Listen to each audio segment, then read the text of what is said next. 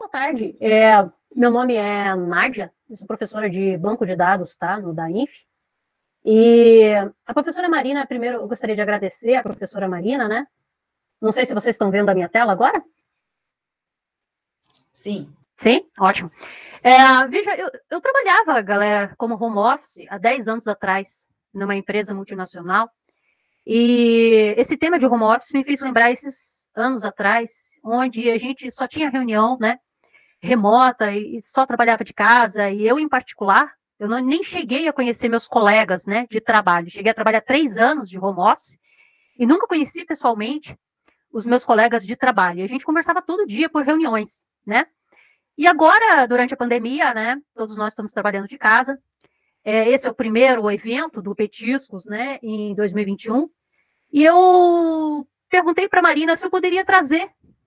É, é, é na realidade, eu eu queria trazer a minha equipe, tá? É, porque uma porque eu estou com super saudades deles, né? Mas é, os alunos mudam com os projetos, mas é, em particular com os professores a gente sempre tinha, né, cafezinhos, reuniões para discutir coisas. E eu sinto falta, né, dessa parte de pesquisa, parte de aluno, né, de você conversar, discutir coisas, né, até porque você descobre. Então, eu queria apresentar a professora Tatiana Gada, que é do DACOC. É, gostaria de agradecer a presença dela tá? É a primeira vez dela aqui no Petisco. Eu gostaria de também apresentar para vocês os alunos William e Matheus, tá? Eles são alunos do DAINF.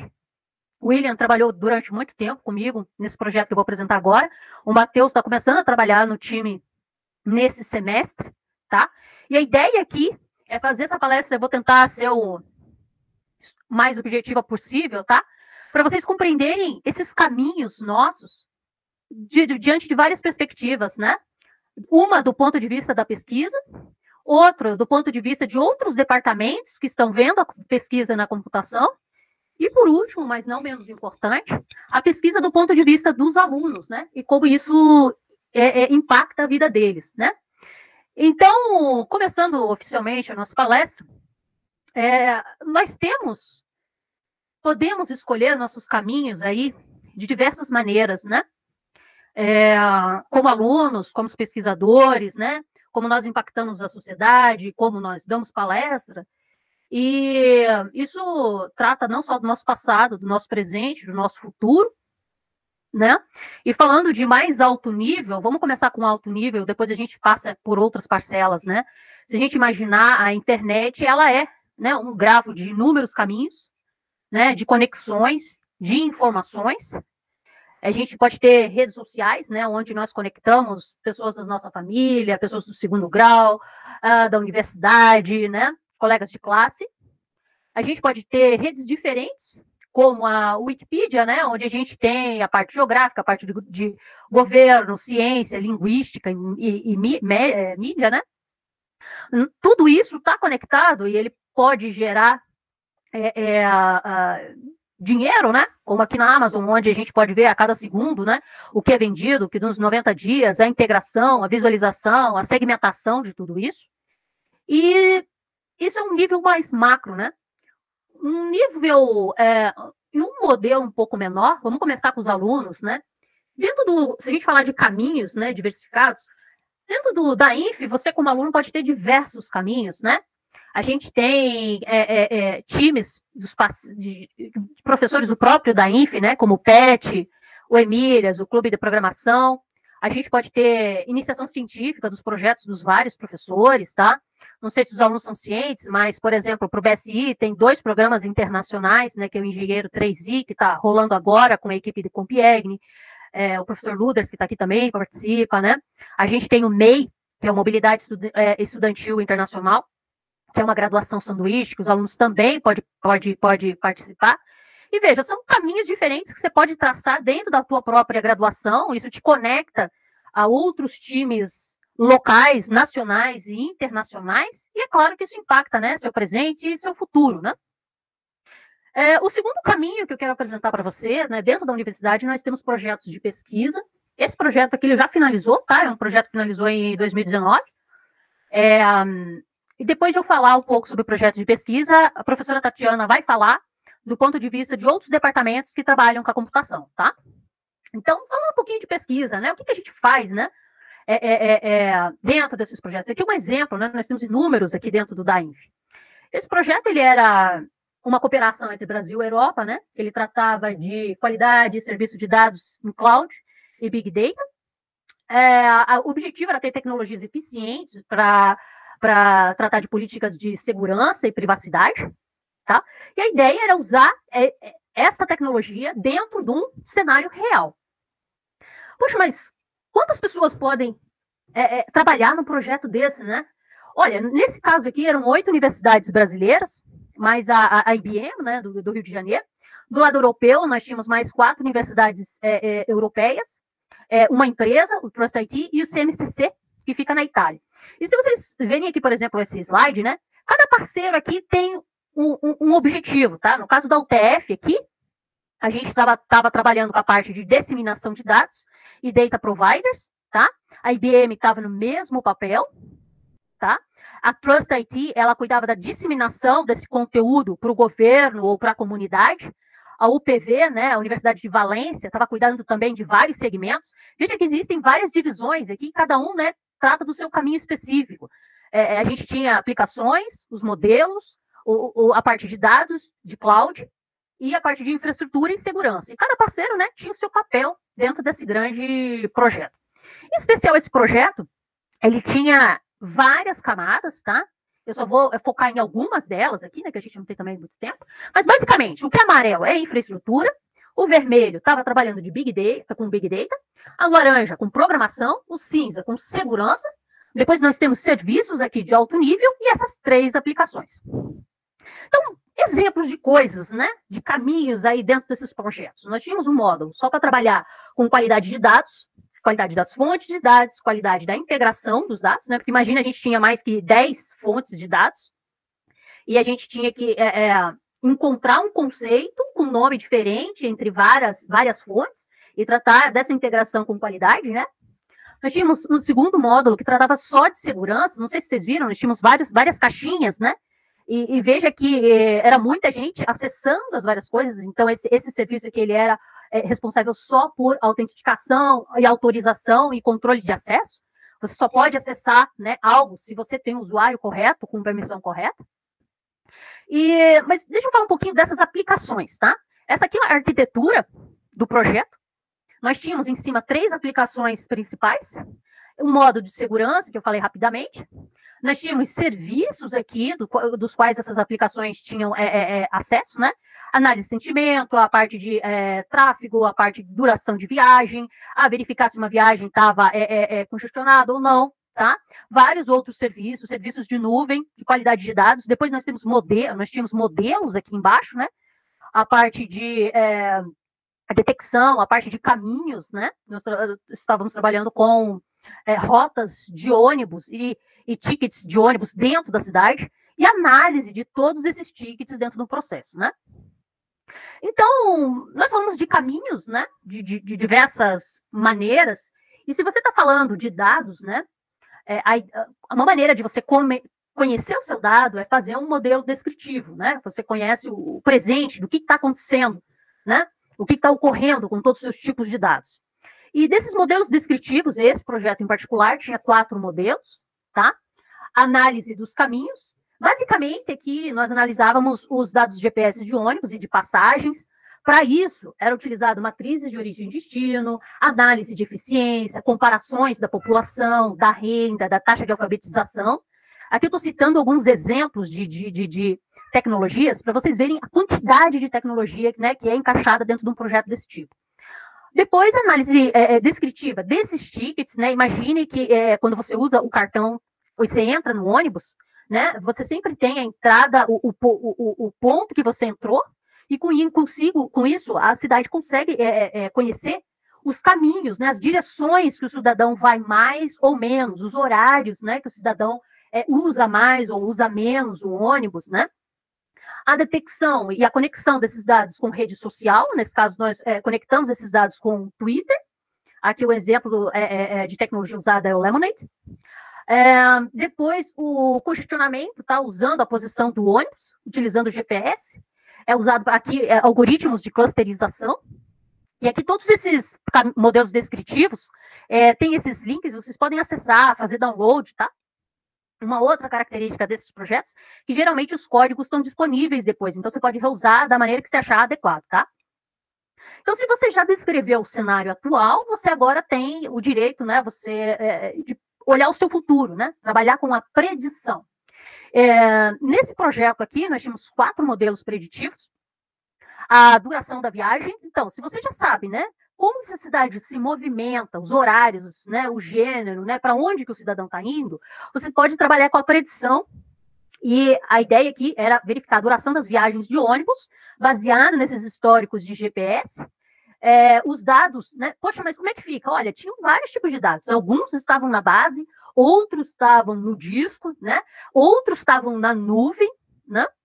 é, é usar. De, e é, veja que eu nem estou falando de toda a parte que vai na nuvem e a parte que tratava do paralelismo, tá? Estou ficando um pouquinho mais nas aplicações. A predição para descobrir a aglomeração desses ônibus, né? O, o congestionamento, então a gente integrava isso aqui com o Waze, é, usando a tecnologia Comps, e análise de sentimento novamente com a integração com o Twitter, né? Então você tem o passado e com isso você trabalha o teu futuro, né, o teu caminho futuro na predição. Então, alguns exemplos, né? Como que funcionam, né, esses modelos? Olha, um exemplo aqui da numeração de viagens é, olha, onde que o ônibus vai estar em uma hora específica do, do dia, né? Você tinha, você analisa o histórico, é, a, a, origem, o destino daqueles, daqueles, daqueles tickets, né? E o que, que vai acontecer, por exemplo, depois das 8 horas da noite? Isso tudo para treinar um modelo. Depois tínhamos a previsão do bloqueio de tráfego, tá? A ideia aqui, por exemplo, é descobrir, olha, a predição de como vai estar o, o, tráfego de Curitiba das 11 às 12, tá? E das 17 às 18. Em geral, são dois horários, né, onde a cidade está sempre congestionada, né? Nós temos outro horário que está sempre é, congestionado, que é o horário das 7 da manhã. E a, e a análise de sentimento. Análise de sentimento aqui nesse, né, é, para esse processo foi utilizado Spark e Kafka, tá? Tem um modelo de treinamento, é utilizado dados do Twitter numa janela de uma hora, tem testes de modelos e todas as, essas uh, palavras usadas são classificadas, né? E a partir disso você sabe se aquele sentimento ele é positivo, neutro ou negativo? Todas essas aplicações e cada um desses pacotes estão disponíveis online, então qualquer um que tem interesse pode ir lá acessar. Eu posso deixar esses slides aqui com a professora Marina, tá? E, a, e vocês podem acessar. Em particular, nós temos três aplicações, tá? Que é o Roots for People, a versão dela em, em celular, que é o melhor busão, e o dashboard para a prefeitura. Para vocês terem uma ideia de como é a, a interface disso aqui, eu trouxe algumas telas, tá? É, a ideia nessa primeira aplicação é integrar o tempo da viagem, a predição, congestionamento, análise de sentimento e outros serviços numa interface só, tá? Depois tem vídeos, se vocês quiserem acessar, tá? Eu não vou mostrar todos eles aqui por causa do tempo. Essa mesma versão você tinha em celular. Então, aqui, em alguns exemplos de funcionalidade, né? As próximas paradas do ônibus, o trecho percorrido, o quadro de horários, os itinerários, né? Que o ônibus estava fazendo. E do lado da prefeitura, nós tínhamos uma, um, um dashboard aqui que mostra as tendências estatísticas do que está acontecendo no dado. Só para vocês terem uma ideia, tá? Deixa eu ver se está disponível. Ah, tá, beleza. Esse aqui é é a aplicação online, tá? Então, basicamente, você poderia selecionar um dia aqui, eu não sei se ela vai conseguir acessar, porque a gente está começando. Aqui, ó. Você tem a parte né, de, de entrada de, de cidadão no, do ônibus, tem a parte de entradas no ônibus, tá? E se um ponto de ônibus está lotado ou não. Então, por esse, por esse heatmap aqui, você vê, por exemplo, que os pontos, pontos de ônibus concentrados né, é, no centro da cidade estão sempre mais lotados que os pontos de ônibus da periferia, certo? É, depois aqui você poderia acessar, tá? Se você quer qual a quantidade de horas que é feita a agregação, se você quer o dado mensal ou semanal, né? É, se você quer somente as, top, as primeiras cinco linhas de ônibus com seus totais de passageiros, tá? Deixa eu voltar para a minha apresentação. Então, essas são as, essas são as, as aplicações. E o projeto também, ele tinha como intuito o uso disso pela sociedade, tá? Então, nós, como academia, o que, que nós fazemos, né? Isso traz uma equipe, tá? Não sou eu sozinha, né? Fora, fora esse time que eu trouxe, tem mais um grande time que também trabalhava junto. Mas, na prática, é, nós fazemos workshops com a prefeitura, com a URBS, tá? E com o IPUC, sempre mostrando resultados disso, tá? É, e verificando possibilidades de possível integração dessa pesquisa com o dia a dia deles, tá? Essa é a primeira. Aqui tem outros vídeos, eu vou deixar disponível aqui se vocês quiserem ver, né? Então, primeiro nós falamos de alguns caminhos para os alunos, depois nós falamos de um projeto de pesquisa e o seu caminho, né? E agora eu gostaria de passar a palavra para a professora Tatiana, que vai falar um pouco dessa perspectiva de outros departamentos trabalhando com a computação.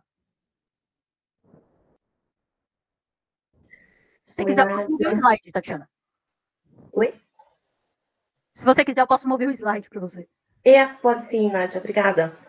Então, vou me apresentar brevemente, acho que poucos de vocês me conhecem.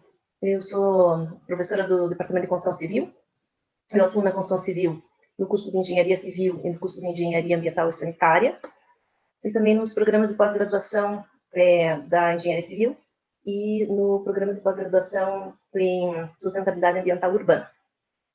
É, a minha área de formação é no urbano, eu tenho uma, uma primeira formação na arquitetura e urbanismo, depois um mestrado em planejamento físico, spatial planning, e um doutorado em é, ciências ambientais, humanas e da terra. Eu fui muito para essa parte mais ligada à geografia dentro do, do, urbano e muito mais interessada na questão de políticas públicas do que é, no desenho urbano. É, mas também uso muito de, desse espaço físico para trabalhar as questões de políticas públicas.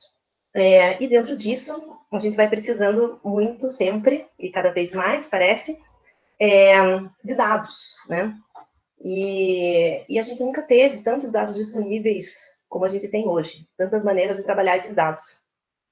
E para isso a gente precisa de ferramentas, é, dados espaciais inclusive. Então, o sistema de informação geográfica, que é a área da professora Nádia, isso nos aproximou bastante. É, eu não sei, Nádia, se tem um primeiro slide. É, bem, só deixa aí que eu vou, vou falando, depois peço para trocar, por favor mas não agora. É, bem, além disso, então, é, eu trabalho com pesquisa, obviamente, e é, na extensão, com um projeto, foi projeto de extensão, hoje é um programa de extensão, é chamado Cidades de Biodiversidade, onde eu tenho duas linhas de pesquisa, de, dois, dois projetos, um na linha de Smart Cities, que é onde eu principalmente trabalho, então, com o pessoal de IT, e o outro é sobre mudanças ambientais globais e urbanização onde eu trabalho principalmente temas relacionados a serviços ecossistêmicos, como, por exemplo, é, alimento, água, esses principalmente. É, eu hoje tenho interesse é, crescente sobre a utilização de blockchain na área ambiental, e estou patinando ainda, inclusive na, no curso de, uh, da Civil, da, no mestrado e doutorado da Civil, a gente tem uma disciplina onde tem um desafio agora que é justamente sobre isso, para os meus estudantes. Então, é, também convido aos colegas que tiverem algum interesse da gente tentar fazer alguma coisa junto sobre isso. É, e aí, o que eu queria comentar, assim, é dessa cooperação no mundo acadêmico, né?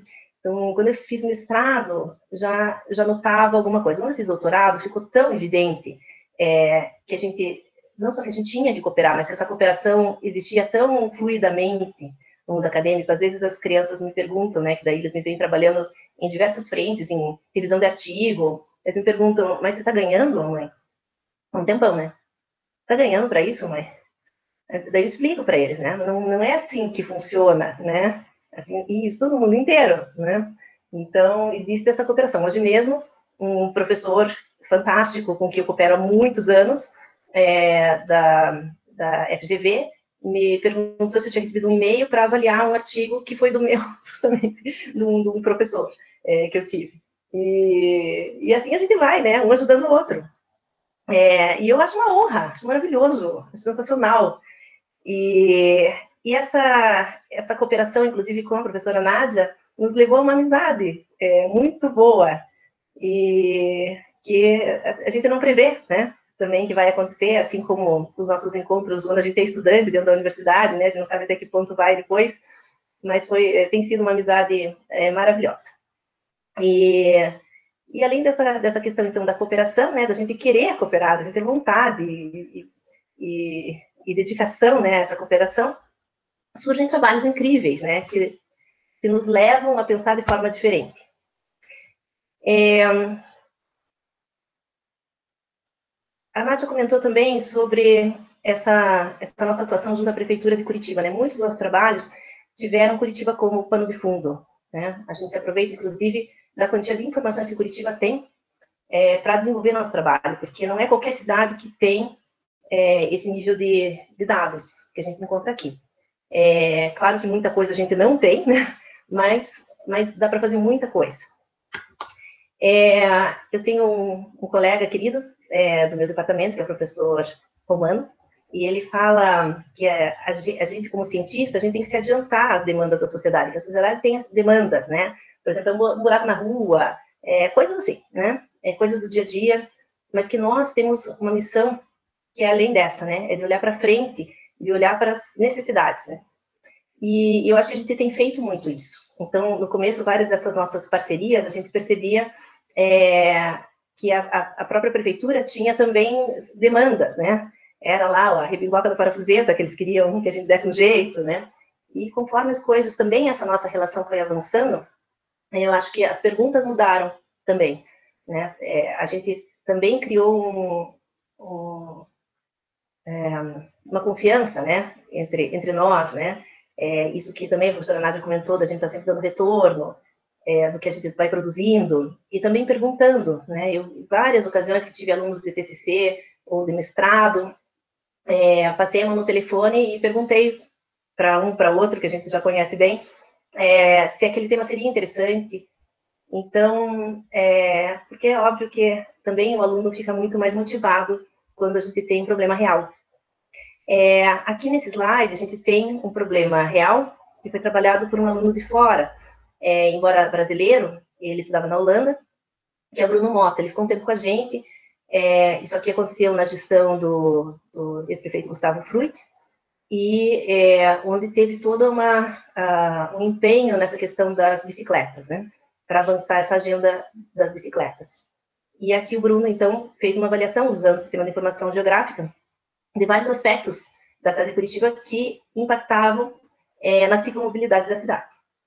É, então, aqui foi uma, uma, tese de mestrado que eu então, supervisionei, junto com os professores lá da Holanda. Nós temos essa parceria com a Holanda, eu coordeno essa parceria.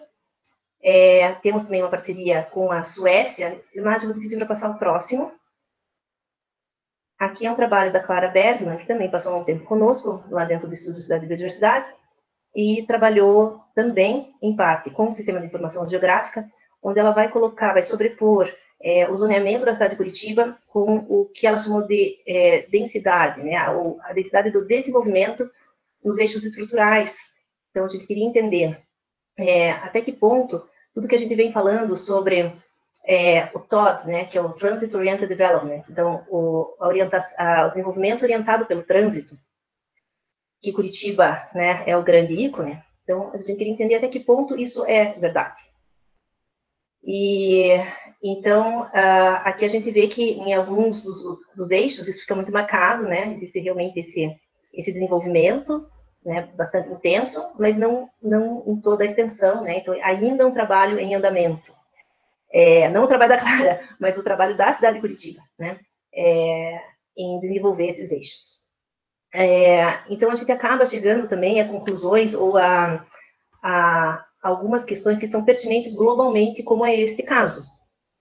É, embora trate da cidade de Curitiba, tem uma relevância muito além de Curitiba, né? Gera uma discussão sobre o Transit Oriented Development, que é importante é, numa outra escala. Então, é, um, acho que vou para o próximo slide. Nádia, isso, obrigada. É, então, esses dois trabalhos, da Clara e do Bruno, é, eles desenvolveram usando o sistema de informação geográfica sem necessariamente ter passado por um curso da área de IT, né? mas porque faz parte também do, desse métier do planejamento urbano. É, e existe uma, um set, um, um, conjunto de perguntas mais ou menos definidas, existe um raciocínio, né, do urbanista, do, do gestor, né, é, do que você está pensando em perguntar, o que, que você acha que né, é a solução, ou como que você vai enfrentar o desafio que você tem. É, e foi muito interessante nesse trabalho aqui com a professora Nádia, onde ela propôs, é, de uma forma muito inovadora, olhar para quantas linhas de ônibus passavam por cada lado de uma quadra. E, assim, uma pergunta que eu jamais teria feito, é, mas que teve um resultado muito interessante, porque a gente acabou descobrindo é, locais da cidade é, não tão óbvios assim, onde tinham muitas linhas passando. E aí ficava também a pergunta do porquê isso, né? É, tínhamos um lugar, um lugar, óbvio que era a, o terminal é, ali no centro, o terminal da. É, esqueci agora. Terminal metropolitano. Guadalupe. Guadalupe, obrigado. O terminal do Guadalupe. Mas depois a gente tinha lá no Pinheirinho e também lá no Atuba um outro cluster. É, e, e assim, o que está acontecendo né, nessas áreas exatamente? No Pinheirinho a gente tem mais noção, lá no Atuba menos. É, então surgem outras perguntas, né? É, sobre isso, sobre que tipo de tráfego está gerando, enfim. É, então, é, é, uma, é, uma, é um vai vem de informação, é, de perguntas diversas, de raciocínios, que vai sempre nos adicionando muita coisa, né? Adicionam novos olhares para a gente. É, e também, da mesma forma, é, a professora Nádia me requisitou, também alguns outros professores, às vezes para orientar um pouco o trabalho de alguns alunos da computação. Então, no sentido assim, o, o aluno está trabalhando um tema, tem várias dessas perguntas interessantes, mas para que, que elas vão servir? Né?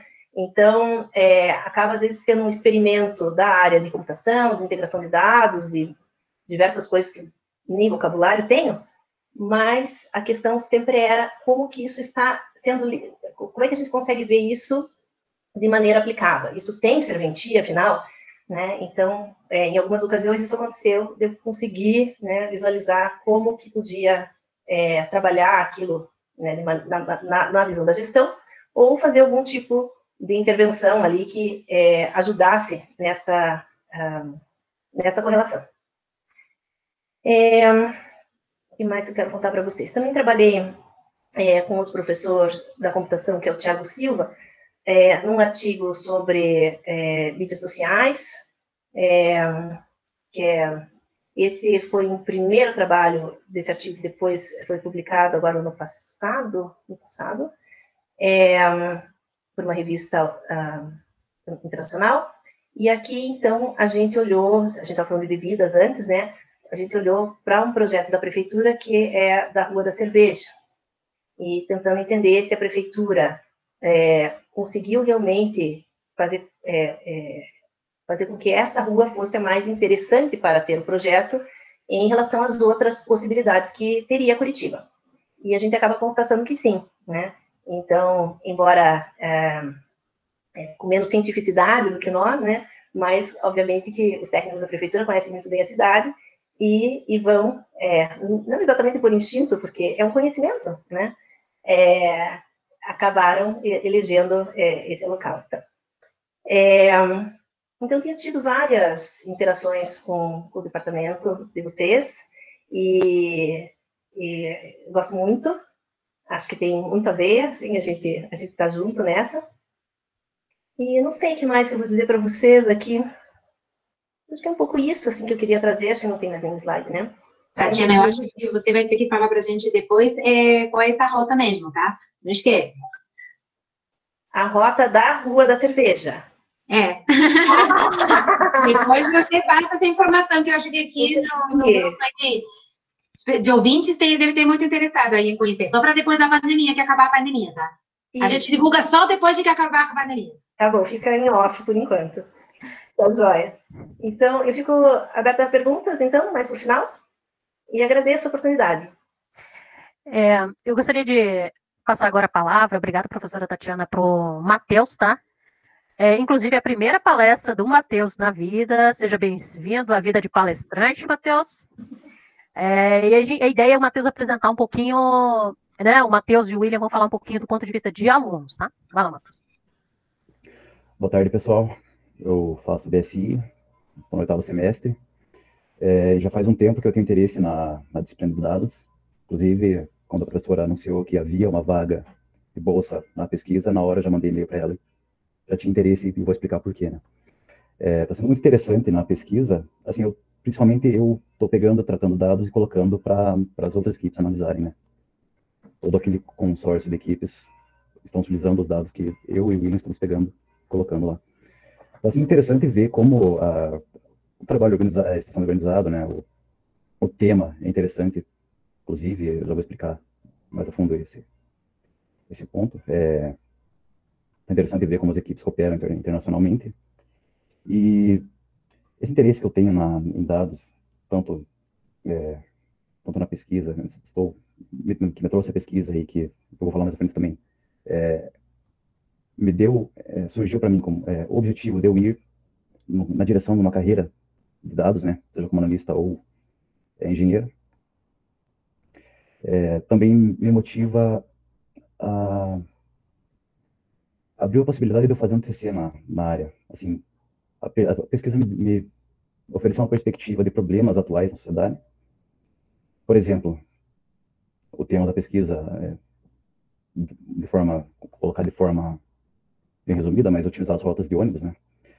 Um outro problema atual que nós temos é o problema da, da pandemia. Né?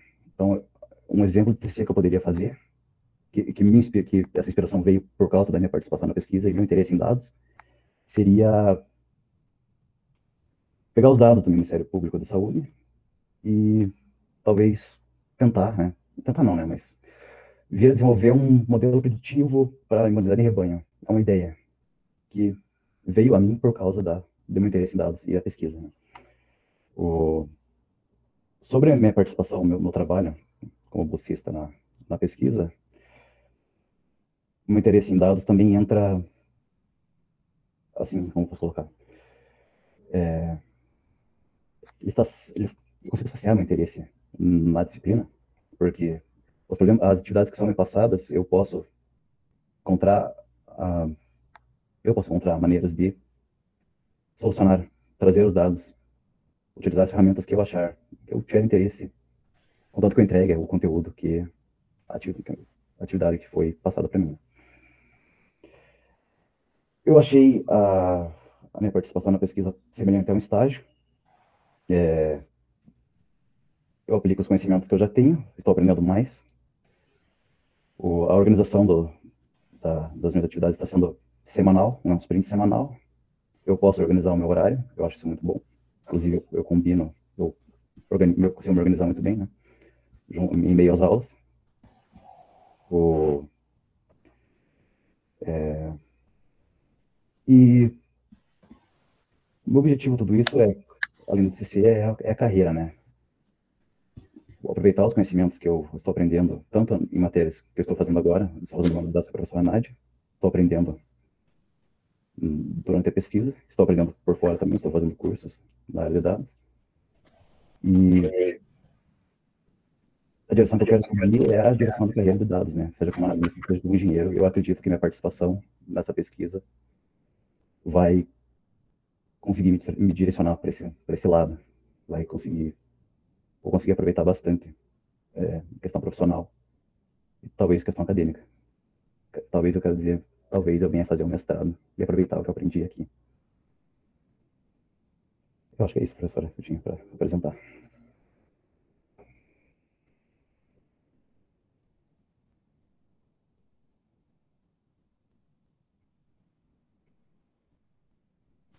Marina, acho que tá travada a tua internet. Só para mim, será? Não, acho que tá travada. Na verdade, é, não, a Marina acho que tá travada. Aí. Eu tô travada? Agora não. Agora não, agora não. agora.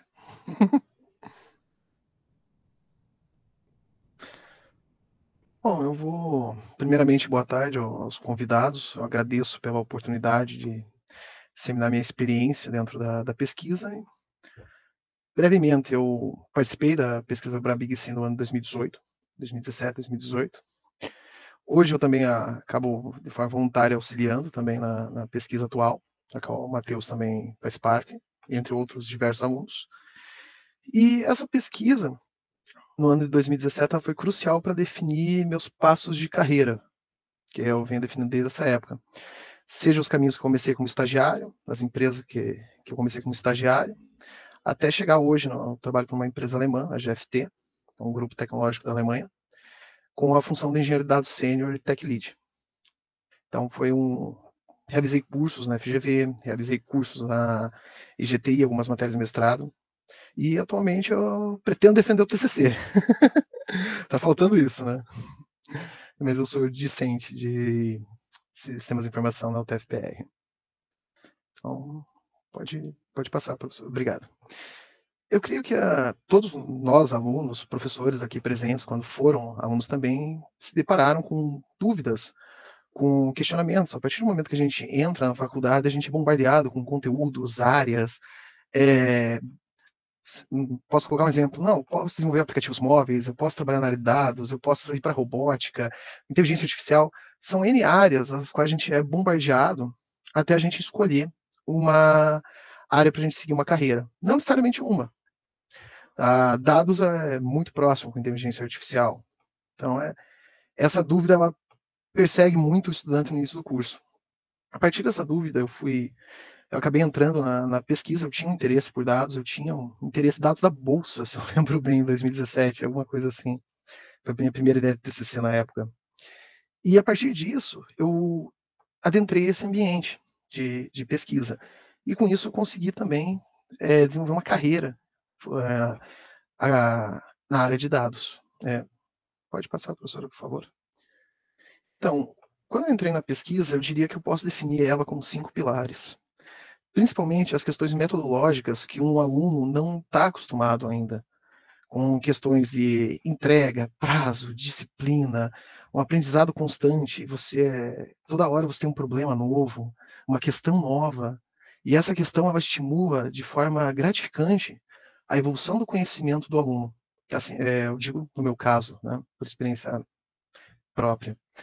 Nesse âmbito, tu, é, é instigado a procurar soluções, assim como meu colega falou anteriormente.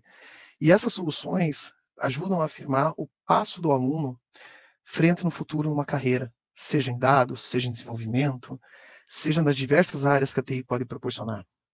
E através também, eu estaria aqui não menos importante, talvez a mais importante, seria a inovação. A inovação é a busca por novos meios, novas tecnologias, novos olhares, a gente conseguir chegar a uma resposta que possa tornar a sociedade, que possa mudar a sociedade ao nosso redor. Não estou dizendo, não, vamos parar de combustíveis fósseis, vamos usar. Não, mas isso é um, uma centelha. Essa centelha que futuramente pode ajudar a sociedade a evoluir, a resolver problemas cotidianos e se tornar um ambiente melhor para todos nós. É, dentro das carreiras que possibilidade, tem uma lista enorme aí, gente. É, mapeador, minerador, eu comecei com um estágio em mineração de dados. É, todas essas carreiras, elas surgem com a nova necessidade da orientação de dados em empresas. Hoje não basta mais a experiência de um PM, um PO, de um gerente. Você tem que ter fundamento nessa experiência. E essa experiência, esse fundamento, ele vem dos dados. Ele vem das informações que são coletadas e processadas, a fim de gerar um conhecimento e, por fim, sabedoria do negócio. Através dessas, essas carreiras elas surgem para dar esse suporte nesse âmbito. Eu grifei as três ali como analista, cientista e engenheiro. Como eu estou muito no meio disso, são as que eu vejo que têm maior busca e maior demanda hoje em dia. Dentro disso, eu poderia citar brevemente o que cada uma delas faz. A gente poderia ficar horas e horas em tecnologias, aplicações, mas eu acredito que uma, uma um resumo breve é o, é o suficiente para instigar. A minha função como engenheiro seria preparar esse dado, trazer essa informação para um cientista que vai extrair, um, trazer esse dado, preparar ele para um cientista que, e um analista que vão processar ele a fim de informação. Esse processamento ele é dado um cientista por métodos estatísticos, é, machine learning, essas, essas termos em inglês que na o aprendizado de máquina, né? E o analista, que ele é focado mais no negócio, tirar o conhecimento, tirar a sabedoria e passar para um gestor dessa área. Então são três carreiras aí que estão muito em vista no mercado, né? E eu acho interessante se algum aluno tiver interesse em dados, até é muito interessante. Eu sou suspeito para falar. o, que cada, o que cada carreira dessas exige são seis tópicos básicos. Não são básicos, né, mas são tópicos gerais. São a programação, extração de dados, estatística, visualização, machine learning e engenharia de software. A engenharia de software, que em 1970, 60, ela surge como metodologias para desenvolvimento de software a partir de preditividades daquela época, que não haveria é, pessoas suficientes para desenvolver, ela também age aqui. Muitos engenheiros, muitos profissionais dessa área vêm da, da engenharia de, de, software, DevOps, né, que é um termo em inglês também, desenvolver e, e manter um sistema. Machine Learning, que vários professores aqui podem explicar mil vezes melhor que eu. A visualização, que a professora Nádia demonstrou no início da nossa apresentação ali através da Amazon. Estatística, saber qual que é a amostragem, qual que é a as médias, as máximas, fazer um teste de hipótese, e de modo a melhorar a empresa e descobrir coisas novas. E a exploração também passa por esse parâmetro. Você pegar aqueles numerozinhos que a princípio não fazem muito sentido, mas você dá sentido a eles. Isso é, eu sou muito suspeito por falar isso, eu acho isso muito mágico. mas enfim, tudo isso é muito interessante. Mas você é um aluno ou um profissional, um convidado que esteja aqui, tem um retorno financeiro disso? Não, olha, tem conhecimento, mas tem um retorno financeiro? Eu peguei eh, esses gráficos do Glassdoor e joguei eles aqui para dar uma olhadinha. Em quesito de salário, as três profissões, elas são maiores que 69 mil na média por ano. Então, você tem um retorno financeiro junto com isso. Então, é, são quatro, cinco, seis anos de estudo, que é BSI o Engicomp, né? A gente sempre atrasa um pouquinho, né? Espero que não, mas eu atrasei um pouquinho. E há um retorno financeiro. Então, é, espero que tenham gostado do peixe que eu tentei vender. Obrigado. Obrigada, obrigada. Podemos bater palma. Nádia, você está com o microfone fechado. Pessoal, obrigada. Acabamos parando, passando um pouquinho, né? Porque o time era grande. Tudo bem. Eu demorei a abrir o microfone porque justo que quando ele acabou, o André estava pedindo uma pizza, parecia assim preparado. Logo no microfone e vocês tinham ouvido. Oh, boa noite, você poderia trazer uma pizza? Era bem home né? Aqui, cadê a pizza, minha gateua? bem na hora. Parecia, hoje é dia de, de petisco com é com pizza. Então, muito obrigada, muito obrigada aos quatro. Foi bem legal ouvir todos ai, os pontos de vista. Eu sempre derrubo alguma coisa, né, no petisco, sempre. Minha caminhada tem aqui. É, não vou derrubar aqui. Então, esse momento é para a gente abrir os, abrir os microfones, podemos fazer perguntas. A pergunta para a Tatiana eu já fiz, ela vai deixar ali a rota da cerveja, mas depois da pandemia, tá? Então, a Mariana já colocou cara, cara não sei se era no que eu falei, disse, por que, que vai esperar depois da pandemia? Porque não pode ir no bar agora. Por isso, depois da pandemia, não pode ficar no de bar. A gente tem home office, 15 de andar. Rota de bar, assim, vai. Só falta professor fazendo propaganda de roda de bar no meio, na pandemia, né? Ah, tá. Bom, se eles têm delivery, pode fazer a roda de bar com delivery. a gente manda o motoboy fazer a roda do bar. É... Alguém tem alguma pergunta, Nádia? Você está com o microfone aberto quer fazer alguma coisa ou ficou? Não, não estou esperando caso haja alguma pergunta. Estou esperando a pergunta. Ó, a Nádia está ali preparada para a pergunta. Ó que está vindo o motoboy, ó. Está vindo o motoboy pegar cerveja. A Bianca fez o motoboy do delivery. Eu queria fazer uma pergunta para a Tatiana e para a Nádia. Vocês acham que é mais difícil fazer pesquisa no Brasil do que na Europa? Por exemplo, vocês que tiveram contato? É, deixa eu responder do meu ponto de vista. É, veja, tem muitas coisas que são similares, tá? Por exemplo, nesse projeto em específico, é, enquanto nós tínhamos reuniões aqui com a prefeitura local, os europeus também estavam tentando buscar lá dados e trabalhar com o pessoal de lá para trazer para o projeto, né?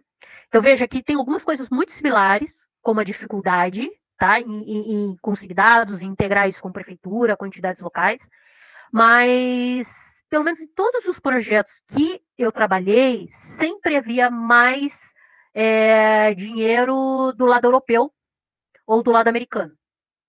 É, e esse, esse projeto em específico, misteriosamente, não. Ele veio a mesma quantia, tá? Para o lado brasileiro e para o lado europeu. Mas, em geral, a, minha, a diferença que eu tenho visto mais é o know-how é o mesmo, tanto que os nossos parceiros, né, cada um tinha uma, um know-how em algo. É, a dificuldade de trazer a comunidade local para trabalhar era a mesma, mas em geral, pelo menos do meu ponto de vista, que eu notei que geralmente os parceiros europeus ou americanos eles tinham mais dinheiro. Mas a professora Tatiana também pode me complementar. Oi, Miriam. Olha, eu acho que tem diferença boa entre nós e os, os colegas de fora. Os recursos, com certeza, são muito diferentes, né? É, não só os recursos que vêm para um projeto, a gente também vivenciou exatamente o que a Nádia está dizendo, né? Projetos onde, na verdade, não tinha um tostão para o lado brasileiro. É, então, assim, a gente não consegue dar bolsas, a gente não consegue comprar equipamento, é, a gente fica mais prejudicado, com certeza. Além disso, existe toda uma estrutura muito diferente lá fora né? É, por exemplo, de secretariado, né? A gente está vivendo uma, uma certa crise, né? Na TFPR com essa questão, é, pelo menos para nós lá no, no PPGEC, no PPG também, a PPGEC fica bem evidente isso, assim, então é, a gente acaba fazendo muito trabalho burocrático, né? Que, que lá fora tem alguém para fazer, né? Inclusive gente para olhar é, edital, resolver parte do edital para o time, né? uma pessoa específica. Então, assim, é toda uma outra realidade, né? É, recurso para você ir nos, nos eventos, é, acho bem diferente. Além de tudo, é, número de cursos que você dá, né? Um semestre, um ano, né? De orientações, de, de tudo, né? Então, o volume aqui é muito grande, né? De aulas, de alunos, de... é muito diferente essa parte. Então, a claro que impacta na pesquisa também, né? Porque tudo é tempo além do recurso é, financeiro. Obrigada, meninas. E só vou fazer uma pergunta para os meninos. É, quais são as perspectivas futuras de pesquisa de vocês e intenção de fazer, sei lá, um mestrado, doutorado depois que terminarem? Como é que tá? Quer começar, Matheus, ou eu, eu começo? É você. Beleza. Bom, eu acredito que Ano passado eu tentei entrar no mestrado sem defender o TCC, né? Então não deu certo, mas eu pretendo defender e continuar assim essa essa linha de pesquisa, seja engenharia de software, seja em banco de dados, que é uma mistura da, da, carreira que eu tenho seguido ultimamente e é o que eu falei, eu sou uma pessoa muito suspeita para falar de dados, gente, porque eu adoro eles. Eu adoro, é, é, mágico. É literalmente mágico, você pega 001, ah, não, ó, se você colocar um hospital aqui, você vai diminuir o trâmite de, de, de paciente. Então eu, eu, sou bem suspeito, mas eu quero seguir, seguir essa pesquisa, assim, eu, quero, eu gosto bastante do que eu, do que eu faço com a, com a professora Nádia. Obrigada, Luísa. Que legal, William, transmitir essa, essa empolgação para os alunos, tem ainda aí alunos. É, aliás, é, hoje é um recorde de alunos, temos 70% aí de alunos. Não sei se é porque tinha palestrantes alunos, mas. Ou a gente pressiona muito nossos alunos para vir, também pode ser. mas alguém tem alguma pergunta? Eu tenho alguma pergunta para fazer. Eu não sei se. Peraí, peraí, que o Matheus não falou nada. Ah, perdão, perdão. Não vai escapar, não, Matheus, viu? Tem escapar. razão. Não adianta, você está com o microfone aberto, só para avisar. Então, igual eu tinha comentado, a minha intenção é buscar um problema, seja acontecendo, não. Tá, não um problema que esteja acontecendo, mas um, solucionar buscar alguma coisa que possa ser solucionada com o conhecimento que eu estou adquirindo, tanto na pesquisa quanto com o conhecimento que eu estou buscando, e transformar isso num TCC. Mestrado, eu não tenho certeza, é uma possibilidade, mas a minha prioridade agora, na verdade, é aprender as coisas que eu estou aprendendo e, no máximo, no fim do ano, talvez no início do ano que vem, já arranjar um emprego é, mestrado vai, vai ser algo que vai vir depois disso, provavelmente. Eu irei considerar após isso apenas. Tá, joia. Muito obrigada, gente. Obrigada pela palestra, obrigada pelas respostas e considerações. Perdão, Matheus, por entrar no meio.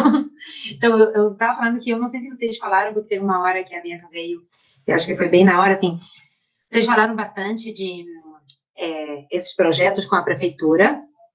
É, só que não sei, talvez eu, eu fico que nem imagino que muitos dos que estamos aqui ouvindo, assim, a sensação é, ah, tá, eles deram essas informações todas para a prefeitura, mas a gente sempre tem a sensação de que não muitas coisas são feitas, né? Mas agora, ou não sei se é a sensação de que não, não é feito, mas assim, né? Quantas vezes a gente ouviu a, a prefeitura, talvez agora com, com a pandemia, mais ainda, né? De pensar horários e coisas para diminuir o fluxo, ou aumentar o, a quantidade de ônibus para não ter esse horário cheio, assim.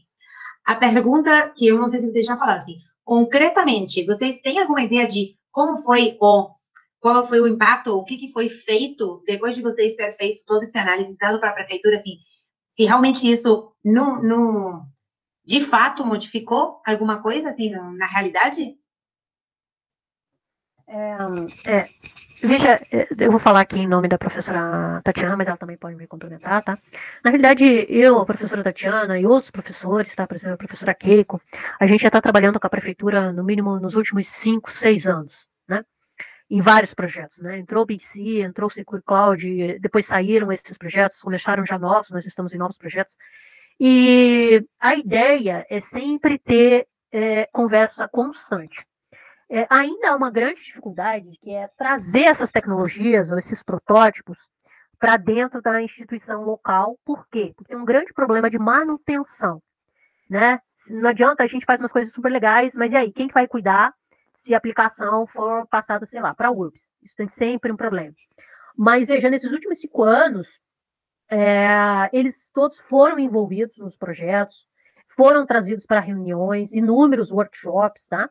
Foi, uma, foi um namoro, assim, de longa data. É, veja que nós estamos com outro projeto atual agora, né? Inclusive o Luder está participando, né? A Miriam também está participando, que é com a Suécia, então, também, né, o pessoal do IPUC está incluso dentro do projeto, tá? É, veja que ainda, só que ainda tem muitas dificuldades, né? Às vezes, a aplicação, por exemplo, é muito difícil levar uma aplicação para dentro do IPUC, porque daí quem que vai cuidar da aplicação lá, né? E os nossos projetos também, eles são, eles vivem naquele período que nós temos as bolsas, né? Depois, para gente, a gente muda de ciclo, né? A gente vai para um próximo ciclo e não tem quem cuide disso, por exemplo, dentro da prefeitura ou dentro da URBS. Mas essa conversa, esse namoro, é de longa data, tá, Marina? E mudam os projetos, mudam as pessoas, e a gente continua conversando. Não sei se a professora Tatiana também quer adicionar alguma coisa. Oi, é, não, eu, eu acho que realmente é uma conversa constante. É, muitas vezes a gente está trabalhando uma pergunta é, que está além né, de uma gestão. É, a, gente, a gente nessas conversas, esse tempo todo que a gente está junto com a prefeitura, a gente percebe a dificuldade, né? Então a gente acaba ficando muito, embora a gente tenha a nossa crítica, claro, né, a, como todo o sistema funciona, mas também a gente fica muito solidário, porque a gente vê que é um mundo de apagar incêndio, né? Um mundo de, de coisas imediatas. E então esse esse tempo, assim como nós, né, foi a pergunta da Miriam lá, né, do, do, da pesquisa, né, que demanda tempo, demanda muito tempo. É, também né, o planejamento demanda né, essa visão de mais longo prazo é, e de mudança estrutural na cidade, né, que acho que era mais o que você queria, queria ver. Eu tive é, algumas experiências pequenas com coisas que a gente desenvolveu é, e que aconteceram. Né? Não assim, tipo, nossa, saiu daqui, esse trabalho desse aluno e foi para a rua. Não assim. Mas, por exemplo, trabalho que a gente fez é, da área calma, né, onde a gente olhou para a questão de segurança viária. Ali, é, teve um momento na história onde houve toda uma discussão área calma. E esse trabalho, ele deu um respaldo para manter a área calma. Né? Então, às vezes acontece isso também, né? vem com um respaldo para as coisas que a gestão está fazendo. Né? É, teve uma outra ocasião que daí não foi com a prefeitura, foi com o governo do estado, eu, eu, eu sou representante da UT, junto com o professor é, Nestor Saavedra, é, no, uh, não é fórum, agora eu fugiu, de ciclomobilidade do Estado do Paraná. E eu, eu conselho, Conselho de Ciclomobilidade do Estado do Paraná. E ali a gente foi uma grande reunião desenvolvendo esse, essa lei, e teve uma bela noite, eu sozinha em casa, ela sozinha não, estava todo dormindo e eu trabalhando. E aí vem um e-mail e o, o, a lei assinada, então, pelo governador. E não imaginava, né, que aquilo realmente fosse acontecer. E eu daí fui lendo, e daí estavam lá, né, as frases, né, que eu coloquei lá, né, é, e aí, nossa, eu só chorava, assim, né? Porque também nessa área de segurança viária, e achei sensacional, achei sensacional, né? Poder ter esse tipo de, de influência. Mas é, não é, não é uma coisa diária, né? Não é um feijão com arroz. Mas a gente tem, sim, essas conversinhas vai acontecendo, né? Mas também não posso deixar de dizer que muita coisa que a gente faz é negligenciado né? O que, apesar desse nosso esforço todo de, de, de trazer, né, para a prefeitura e tudo, é, às vezes a gente fica bobo de ver, né? Tem tanto trabalho acontecendo, como foi recentemente o caso de um trabalho do IPUC com as, é, o plano ciclo, de ciclomobilidade da cidade, onde não tinha um trabalho acadêmico entre as referências, né? Então eu tive que me pronunciar na ocasião e dizer, né, gente, tanta coisa que nós produzimos, não só o TFR, o FPR, positivo, etc, etc. É tanta coisa aí. Então, tem um pouco ainda disso, de muito, de, estar num mundo à parte, né? De fazer as coisas sozinho. Acho que vai mudando, né? Não é um processo tão ligeiro.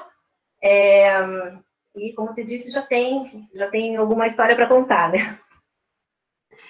Não, assim, é, não, não foi uma crítica, assim, pelo contrário, assim, eu ficava vendo e ah, que legal, que útil isso, que legal, e a gente sabe que muitas vezes, sim, muita coisa fica ali, né, no, no projeto, no papel, e depois, para isso levar mesmo para a realidade, aí vem tudo isso que vocês duas comentarem, né? Fora que mudam as pessoas, muda, aí, e aí é o pepino, ah, não, isso é muito interessante, mas a gente precisa, tipo, amanhã é, fazer algo. Então, assim, é, é, a teoria, às vezes, são projetos super legais, mas depois fica difícil é, levar à prática, né?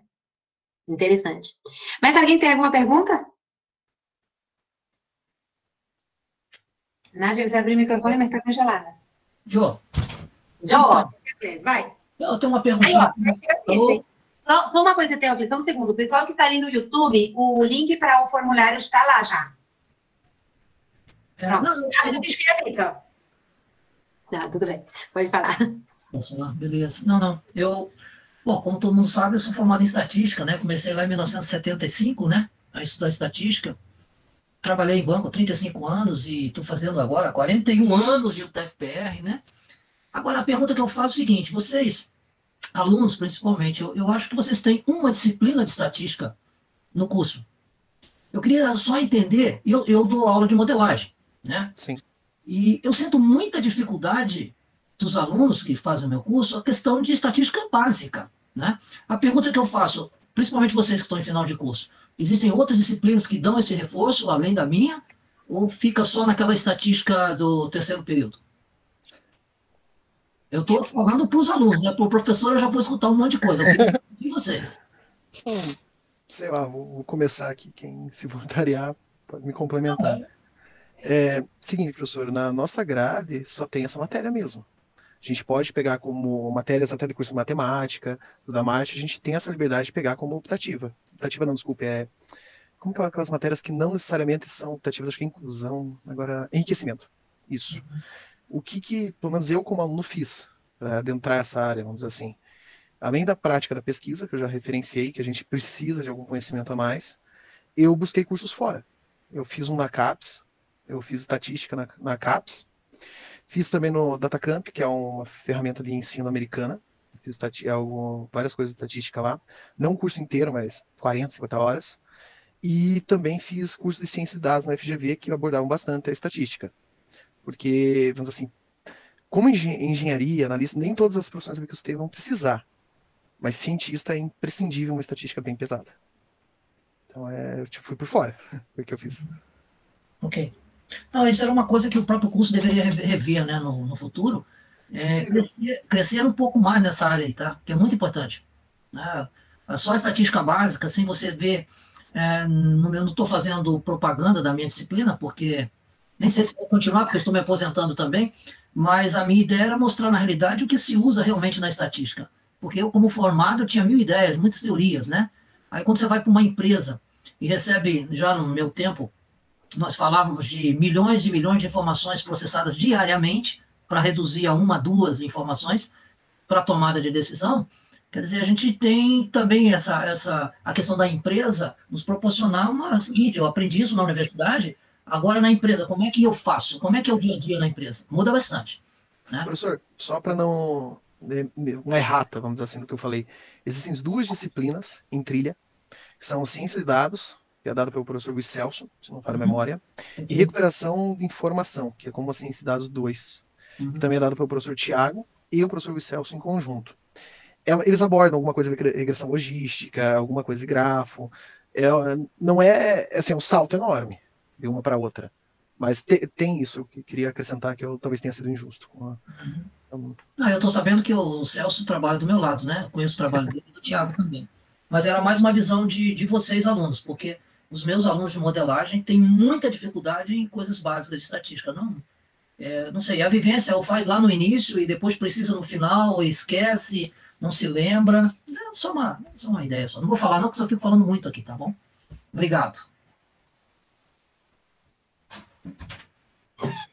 Obrigada. Mais alguém quer falar alguma coisa?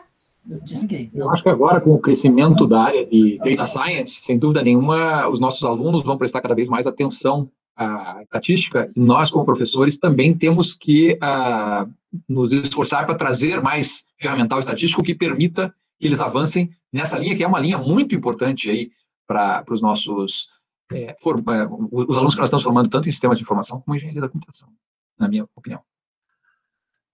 É, até o William fez propaganda de quanto ganha trabalhando nessa área, então agora sim que vai bombar. E a, profe e a professora Rita pode fazer, não sei se ela está por aí, mas ela pode fazer a propaganda no da nossa especialização em ciência de dados, né? É, Aliás, eu, está, eu acho que ela não está hoje. Minha filha, que é jornalista, eu incentivei a fazer a, a, a essa, essa pós agora, e ontem ela estava tendo uma aula com o Luiz Celso aqui, quase que eu sentei do lado para assistir a aula, porque eu estou dizendo, nós vamos ter que ir, nós vamos ter que transformar muitos desses nossos cursos, porque a especialização, com certeza, em cursos remotos, porque funciona tão bem, gente. Ah, facilita tanto o aluno, não precisa pegar trânsito no final de tarde lá para chegar lá duas horas atrasado para aula, com aquela cara de sono, ele vai assistir de casa. Até eu, olha, mais um pouquinho eu sentava do lado dela e assistia a aula inteira, só eu tivesse outras coisas para fazer ali no momento. Mas estou dizendo, já fazendo a propaganda para os nossos alunos de agora, na sequência, já tem aí a, a pós em ciência de dados, a especialização, é um, é um passo interessante em que vocês vão ter muito acesso também a ferramentas de, de estatística, quer dizer, disciplinas de R, disciplinas de Python, mas lidando lá com todos os módulos estatísticos, assim, acho que vale a pena vocês uh, pensarem nisso. Mas nós temos que trazer isso para a graduação também, né? Porque muitos dos nossos alunos vão poder ser muito mais eficientes dentro da empresa se eles puderem transformar esse monte de dados em alguma informação útil, né? Uh, e principalmente os nossos alunos de sistemas de informação, que já são preparados para transformar informação em conhecimento, é, esse, esse salto transformar o dado em informação é, talvez seja importante também. Verdade, legal. Marina, por que, que você tirou o bob do cabelo? Ah, Gente, olha meu Bob. Rola de papel higiênico. My God! Porque eu tô, tô dando para encerrar o home office e agora vou me arrumar. Beleza. Vai comer a pizza. Então, tá gente, dada a hora, é, eu vou só encerrar o, oficialmente o petisco, a gente pode ficar conversando, mas a gente tem vários alunos ali, quero liberar. Eu acho engraçado, assim, nota de cor eu vi ali na, no questionário, né, que você que tinha, como ficou sabendo, né, aí, tinha é, por Facebook, por e-mail, blá, blá, blá, e tinha, não sei, Silvia, você aí ou já saiu? Aí tinha, é, que foi avisado na aula, né, porque muitos de nós divulgamos isso na aula, de fato, oi para meus alunos que estão por aí, é, vários dos nossos alunos foram pressionados a vir, mas eu achei engraçado que teve um que colocou um item a mais que foi é, aluno da, da, aula da professora Silvia. Foi tipo assim, é, não foi divulgado na sala, foi tipo obrigado na sala, que colocou separado? Aluno da professora da Silvia. É, bom, eu só quero dar por encerrado. O pessoal do Facebook está ali o questionário. Quem está aqui e ainda não, não preencheu o formulário, por favor, ainda falta alguns, uma informação útil para a gente. É, a, o próximo petisco, não tenho a data ainda, mas vai ser daqui a 15 ou 20 dias, vai ser a professora Mariângela que vai dar o próximo petisco. Ela, o título, peraí, que está aqui, que ela me mandou. Bom, depois eu, eu falo o título, vocês vão ver a, a propaganda, fiquem atentos. Ela tem algumas ideias, assim, ela vai fazer uma palestra bem é, participativa, vai ter várias atividades para fazer, então vai ser bem dinâmica, não percam, fiquem atentos, deem likes em todas as mídias ali, divulguem. E agradeço a todo mundo por participar, agradeço os palestrantes, agradeço a Nádia, a professora Tatiana, que não conhecia, os alunos, e agradeço, como sempre, a participação de todos vocês, os professores e os alunos. Estou vendo um monte de nomes ali dos meus alunos. Isso porque eu falei que valia a ponto, tá? eu estou usando o método Alexandre, né? Porque se, se, a gente não oferece a bala, eles não se mexem. Mas é, é ponto teórico, não, não é ponto real na, na nota final, é ponto Ponto nada, certificado. Vale, vale arredondamento? Não, é simples, não é ponto. Eu falei assim, vale ponto, mas não na nota, é ponto sim, no meu coração, assim. É ponto, ponto virtual. No meu coração eu vou gostar um pouquinho mais. É, não sei se alguém quer falar mais alguma coisa, só estou dando por encerrado o petisco, a gente pode ficar conversando. Não sei se alguém mais tem alguma, antes de encerrar completamente, tem alguma pergunta para fazer. Aí a gente tem a Maria Ângela, depois na sequência tem tinha mais alguém que já esqueci. Quem estava aí na lista dos. O Alexandre, ele podia falar sobre apicultura. Né? Então, eu acho que você, Alexandre, um dia tem que falar de como fazer cerveja. Ah, é tranquilo. Posso dar uma aula aí. Aí, inclusive, vou ensinar para o Alexandre também. Tem que ser com o Arduino, viu, Adelcos? Cerveja com Arduino. Não, é, daria. Não daria. Mas aí não tem graça, pô. é, ah, então, pessoal, tem que ir para minha aula. Tchau. É, pois é, eu tive que cancelar a aula já. Eu até tenho alguns alunos da minha aula que estão aqui. Aí já Olha, eu, eu, encerrei lá no, no, eu encerrei lá no YouTube para poder mostrar a minha cara aqui, viu? E, e ah, poder debater o, o aí, tá? Mas enfim, nós fazemos uma, uma, competição assim que a gente puder. O desafio aqui, Etealcles, é o seguinte: tá assim que a gente puder estar todo mundo junto no mesmo ambiente de novo, a gente faz aquela degustação às cegas. Né? Isso. A, a minha cerveja, a tua cerveja e o vinho da Tatiana. Opa. Primeiro ele pergunta para eles se eles conseguem descobrir se, se o povo consegue descobrir se é vinho ou cerveja, porque daí eu já sei se o povo vai poder depois escolher qual é a melhor cerveja, né? Porque se não conseguir descobrir desde o começo, vai que eles votam na sua cerveja como sendo melhor. É. Eu, eu, eu, me voluntario para os trabalhos da, da banca avaliadora. Né? Degustação, né? tá certo. É, não, com certeza. Eu, eu degustei as duas, mas eu não vou dizer qual eu gostei mais. Não, é, é cada, é, na verdade, e, e, depende muito do momento, né? A cerveja artesanal é assim, cada lote é um lote, né? Então tem lotes aí que aliás, e a, e a, cerveja do Etelcos é espetacular. Só estou aproveitando aqui para a gente gerar intriga aqui, né? e com certeza o vinho, aliás, aprendi lá, gostei da dica lá do, do Chardonnay, Chardonnay barato, como sendo uma alternativa, porque eu acho que com vinho aconteceu uma coisa que nós estamos fazendo com a cerveja agora, né? Nós estamos gourmetizando a um ponto que é difícil encontrar um vinho barato, e quando se encontra barato, ele fica psicologicamente uh, ruim, né? A gente já disse, isso aqui tá... Nem era. Antes a gente tomava sangue de boi e achava que estava bom. Sangue de boa, né? É. É, já, já passou propaganda, vendo vinho. Bom, agora não, agora parei, parei a venda até eu saber quando, quando vou poder voltar para a Argentina. Como está tudo fechado, acho que valorizaram meus vinhos, aumentaram. E Leandro, espero que você tenha feito, esteja fazendo uma boa gravação aí, porque o que saiu lá no YouTube, o Pigato, ainda agradeço lá o Pigato, que disse, que ainda disse, olha, você tem o microfone aberto. Eu falei, mas caramba, eu não estou nem conseguindo falar na, na live aqui. Onde é que tem microfone aberto? Depois eu fui ver lá que de fato tinha o um microfone aberto, estava indo para o YouTube. Né? Então tudo que o povo falava aqui em casa, em volta, estava aparecendo lá na, na, gravação do YouTube. Então, a, a, não vai ficar lá no YouTube nem pra vocês verem se, se, se, se minha esposa chegou aqui com compra e disse, pode passar aí que ninguém está ouvindo nada. Muito bom. Tá vendo? Não, mas isso eu acho que está perfeito para um exemplo de petisco home office. É isso que acontece no home office. É, Aliás, dizer, eu já falar assim, não, fica tranquilo que a, a, Marina não para de falar do lado de lá, ninguém está prestando atenção em mais nada do que está acontecendo aqui. Já é, é impressionante, você não sabe é que é ter aula do lado da sala da Marina, é uma coisa de, de doido. Eu tenho que chamar a atenção dela de meia e meia hora. Então, mas eu vou te dizer o seguinte: qualquer um que der aula do seu lado, você reclama. Você já reclamou bastante de mim. Eu já lembro de você bater na minha porta lá e dizer, dá para falar é mais baixo. você fala alto também, né? Ele tá vendo? Eu acho que, que, que né? Não sei de quem é o problema. O é o meu maior amigo, ele não fala alto. Ô, Tatiana, isso aqui é tudo um bando de louco, viu? Você que não está acostumado com esse povo da INF, é sempre assim os nossos encontros, sabe? Então, a gente então, começa sério, aliás, a gente já não começa sério porque a Marina não deixa, e com certeza a gente nunca termina sério. É verdade. Mas olha que vantagem para os alunos. Eles fazem duas aulas no mesmo tempo. Eles, eles fazem a aula de deles e a minha. E ele por cima reclama. Que melhor para os alunos. E, e o português é péssimo, né? Ninguém entende nada que a Marina fala. Eu já quase que quando faço a prova, eu mando uma para a sala dele. Tipo, aproveita e aplica a prova lá na tua sala. Aí eles aprovam duas, duas disciplinas ao mesmo tempo. Agora, enquanto eles ainda acham que ela é, ela é uruguaia, tudo bem. A hora que descobrem que é argentina, né, Théopolis? Eu consigo outro lugar, você falou. Não, aqui, o papo aqui. Ó, ele fechou a câmera achando que tinha fechado o áudio. E continuou falando lá com a filha dele, com a, com a esposa, né? Mas não Aí pode tá, falar mal de mim. vários alunos aí para me defender, ó. Meus alunos que estão aí, Bruna, Jonatas, pode abrir o microfone e me defender. Você tem razão. Camil, Não, os teus alunos aí tão- também são meus alunos, são aqueles alunos que na minha sala eles estão sempre com câmera aberta e depois eles dizem que você não, não faz. O truque que eu. Sabe o truque? Sabe que qual é o truque, Marina? É que eu tenho 77 alunos. Então, se eu não tiver pelo menos uns 20 de câmera aberta, aí eu vou dizer, poxa, né? Então não vou nem começar essa aula, né? Agora, se você tem 15, vai ser mais difícil você conseguir. Não, eu tinha 40, mas, mas eu dei um, eu dei um piti de ciúme para eles. Eu, eu nas, duas, nas duas aulas, eu falei assim, nos dois cursos, né? É, eu, eu dei uma, uma cena de ciúme, que por que para Alexandre abrem, para mim não. Você acredita que mesmo eu reclamando, e por que para eles sim, que eu tô com ciúme, blá blá blá, eu pensei que na hora todo mundo ia abrir. Mas não, ninguém se mexeu. Tipo, vai ficar assim por fora. Você, é, é, eles perguntaram para você, você está anotando a carinha de quem está com, a- com a câmera aberta? Porque eu anoto toda aula, todo mundo que está de câmera aberta, ganha pontinho, ué. Aí o povo abre a Não, câmera. eu falei para eles, ah, você tá que eu vi aí, ó, o tá por aí, eu não estou anotando sempre o que eles estão fazendo. Mas, mas é isso, eu falei para eles, vocês abrem para ele porque ele dá balinha para vocês, né? Olha lá, o Jonatas lá embaixo também. Aliás, metade desse povo aí é, é- tá lá, né? Mas eu falei, ah, por causa de balinha, e eu penso assim, só por amor não abre. Não, e mesmo assim não abriam. Aberto. Foi igual a pizza. Chegou a pizza. Estamos indo aí, tá? Se põe na portaria que eu já estou indo aí. Viu, Ezequiel? Já tô bom, viu? Já tô sem Covid do lado de cá. Eu Vou bater na tua porta aí pra pegar aquela caixa dele e vou botar aqui. Como uma- Tá tudo certinho em casa? Olha, e a Karen tá acabando de dizer que chegou lá o, meu- o nosso o, como que é, o exame de sangue lá, de manhã. Estamos não só recuperados, como imunes.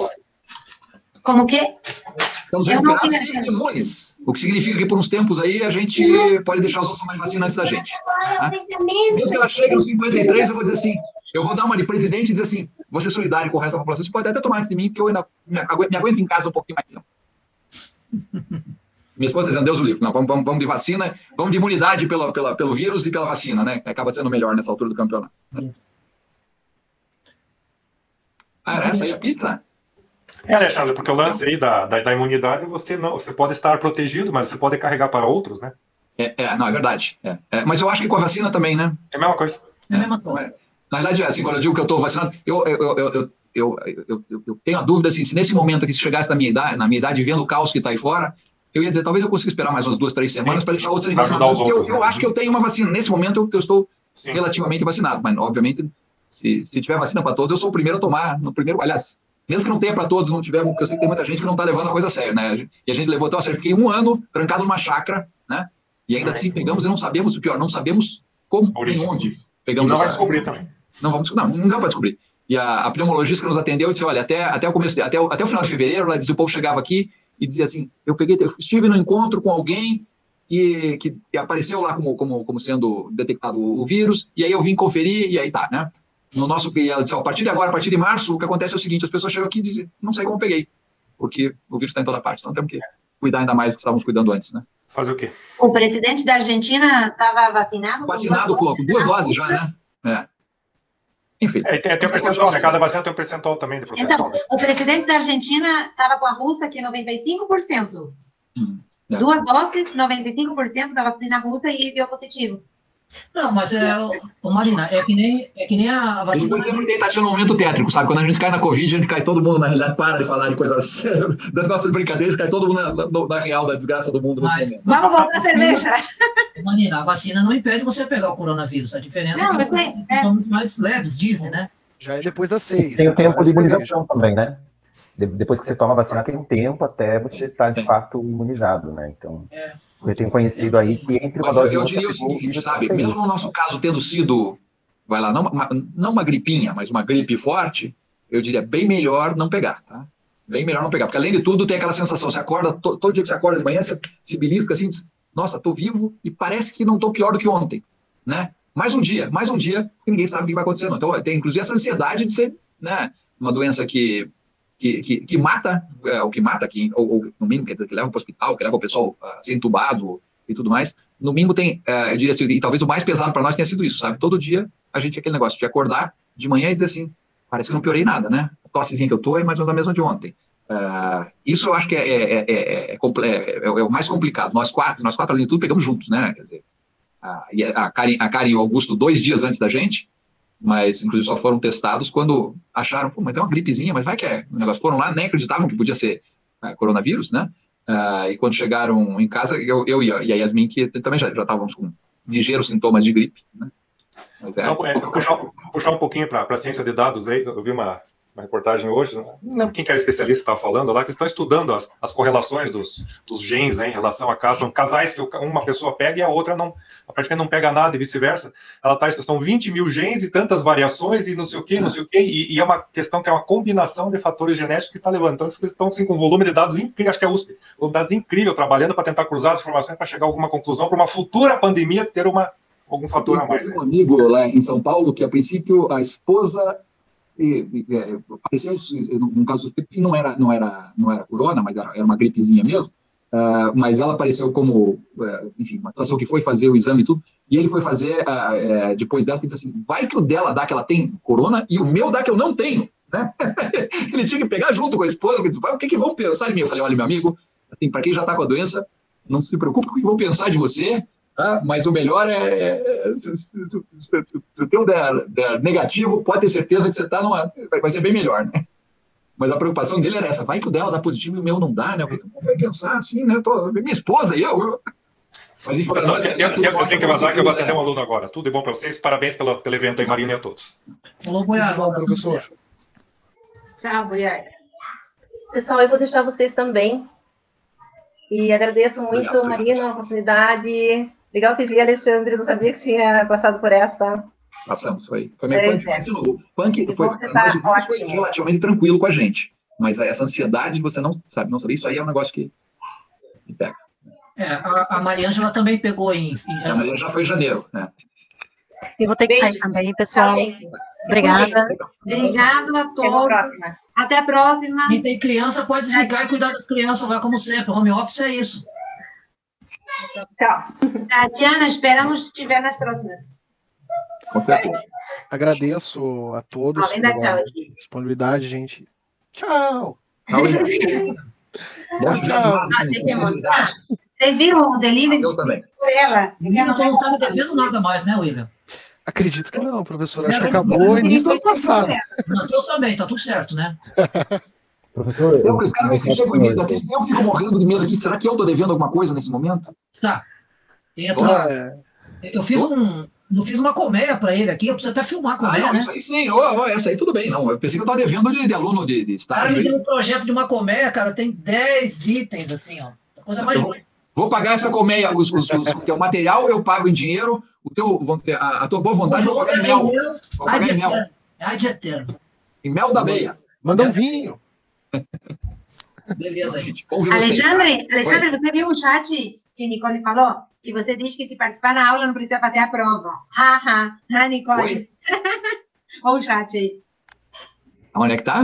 Ah, o chat aqui do, da, dessa apresentação, ela acha que não precisa participar da aula? Ela tá... Não, não. É, não. Mas você sabe, sabe que eu faço agora uma coisa que é legal? Viu? Uma coisa que eu, de, de novo, essas coisas eu aprendendo na, na pandemia, né? Eu estou fazendo prova toda aula. Também. Então, quem participou da, da, das aulas, de fato, eu, eu vai ter aluno, com 77 alunos inscritos na, na, na, disciplina, vai ter aluno que eu já vou ter uh, uma, uma qualidade de avaliação suficiente para dizer assim: olha, bom, você acertou todo, todas as questões, são questões objetivas, rápidas, tudo, você acertou tudo, vai, vai, vai com 10, não precisa nem, nem, nem vir fazer a prova depois. Vai ter aquele que diz: ó, você acertou bastante aqui, se você não quiser fazer a prova, você já vai com 8. Vai ter aquele que, ó, quiser já um 7, agora, se quiser, se não, vem fazer a prova. E a prova agora é prova oral, né? Só que para fazer prova oral, gastar meia hora com cada aluno, 77 alunos, é bastante. Então eu quero, de fato, vai ter gente que vai se liberar, vai ter, mas é o povo que está fazendo tudo certinho, né? Mas você vai fazer prova oral com essa quantidade de aluno? Vai ter 77 não, e sobrando 50, né? Oi. Do 77, é, eu imagino que estejam ativos 55, mais ou menos. Né? Ainda é bastante. Uh, mas o que, que, eu vou fazer? Desses 55, eu quero fazer a prova oral com metade da turma. Aqueles que eu não tenho, que eu tenho dúvida ainda. Os outros vai ter gente que vai passar com tudo que é tipo de nota. Eu vou propor, assim, olha, se você é 10, não precisa nem fazer. Né? Vai ter aquele que vai dizer, olha, você é, é 8 ou você pode fazer a prova oral, né? Ah, e vai ter gente que vai dizer, não, você tem que fazer a prova de qualquer jeito, porque, né? E, mas eu estou dizendo que tá mais fácil. O William, o Matheus, esse povo que já foi meu aluno lá, tá, um professor muito melhor agora, no, no, nesse formato remoto, do que no tradicional. Sabe por quê? Porque eles têm que ler o mesmo material que eles tinham que ler, e que muitas vezes lá na aula presencial eles me enganavam que um, dois liam, né? Agora já, já começa a aula, eu digo, bom, vocês começam a dizer o que vocês leram. Chegava atrasado, né, professor? Tem que assistir a aula do semestre anterior, que está gravada lá. Então ele vem para a aula já tendo lido o, o, livro e assistido a aula. Ele vem assistir minha aula depois de ter assistido a aula. Cara, esses caras estão ficando fera. Pergunta ali para. Não, quem está ali ainda? A, é a Nicole, ali, o resto do povo já saiu. Eles vêm afiados para aula. Nunca tive aluno chegando tão preparado para aula. Já, para já a tua, Alexandre, para a aula. Vamos começar a oferecer, porque assim, você oferece toda a felicidade para eles, aí chega na minha e nada disso, não tem não, câmera, não, não, então, é felicidade, ninguém viu é vídeo, ninguém viu nada, gastam todo o tempo com você, porque vão ganhar ponto, aí não sobra tempo para mim. Tá vendo? Ah, tem muito, tem muito tempo entre, as, entre, entre a meia-noite e seis da manhã que você não pode roubar deles. Tá? Não, agora eu tô entendendo. Agora vou dar um tropitinho amanhã. Tipo, claro, tá tudo pra ele porque vai ganhar pontinho. Aí comigo, ah, não vi. A metade, ah, não vi o vídeo. Mas por quê? Porque não dou bala. É, mas para quem, quem disse lá que ganha pontinho por só por estar com a câmera ligada, não. Esse aí é aquele pontinho, aquele docinho, assim, né? Que é, vai, faz o coração do professor ficar mais feliz e faz com que eu, como dizer, eu já digo para eles, olha, prova, aquele negócio, prova oral, você sabe como é que é, é processo subjetivo, né? Eu posso chegar já achando que você é um cara que sabe, ou eu posso achar que você tem que me convencer que você sabe. Eu vou tentar ser super justo nos dois casos, mas você tem que admitir que é diferente, né? Um, aquele aluno que chega assim, pô, eu vou fazer essa prova só por uma formalidade, porque eu sei que ele está sempre lá. E aquele outro que eu nunca vi e que vai chegar lá, começa, é aquele negócio, é um, é um jogo que começa 5 a 0 a favor ou contra, né? Por mais que eu queira usar a justiça e imparcialidade total, né? Enfim.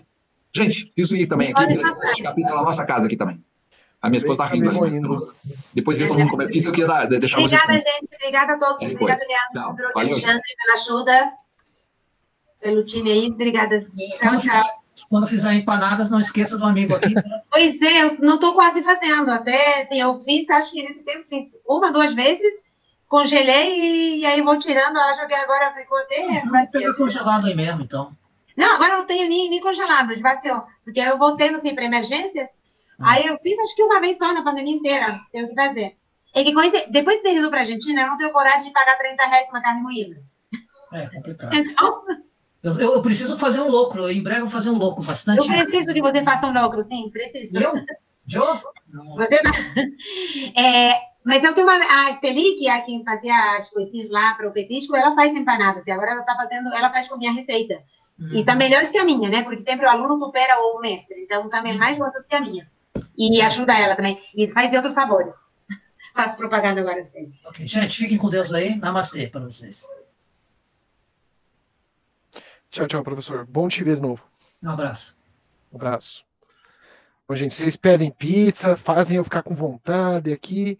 Eu vou ali no mercado comprar queijo de massa. não, não, não, não, não mostra, não mostra que eu fico mais com vontade. Não mostre. Mas eu vou correndo lá no mercado. Obrigado a todos, obrigado pela, pela presença e tudo de bom, gente. Obrigada, William e Matheus, por participar.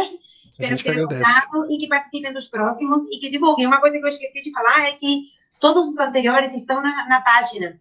Na página dos petiscos ou no, no Facebook. Aí tem, tem todas as gravações.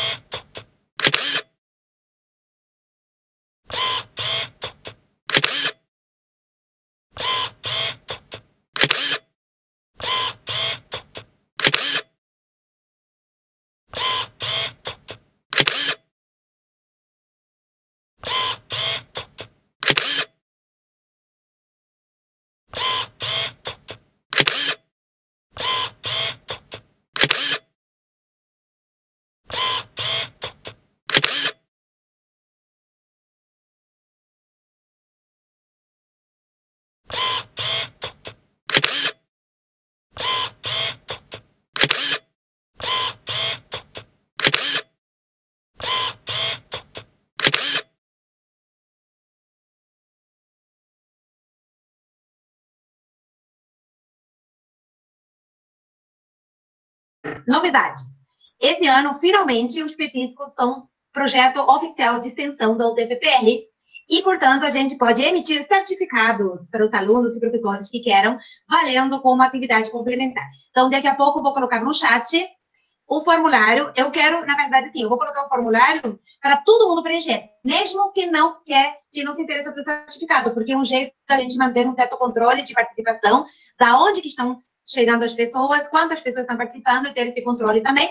E para quem quer é, o certificado, tem que se inscrever no, no Event 3, quem já se inscreveu, ok, e que não, no formulário também tem o link, mas mesmo se você está inscrito no Event 3, você precisa colocar agora a sua presença, o formulário de presença, e com esse formulário que a gente vai gerar o certificado no Event 3 para quem está inscrito. Então, o diferencial é que é a primeira vez que, como palestrantes, além de ter professor, vamos ter alunos também. Então, estou é, muito feliz por isso. E aí, Marcelão, tudo bem, chefe? Tudo tranquilo aí, então. Que se inspirar, saúde, né? Olha como é que ele tá com o cabelinho cortadinho, bonitinho, ó. Ó, eu cortei hoje e pintei, ó, tá? Ó, show de bola. Eu não pintei porque era home office. Não, eu pintei, ó, eu e o Fábio, estamos, ó. O, o Ricardo tá precisando, a Silvia também. Coitada da Silvia, acabou de chegar, sobrou pra ela. Marcelo, Marcelo também tá ficando branco. Eu não, cara, eu não tenho problema de cabelo branco, não. Silvia, eu tô sem áudio. Eu também não, também não tenho, não.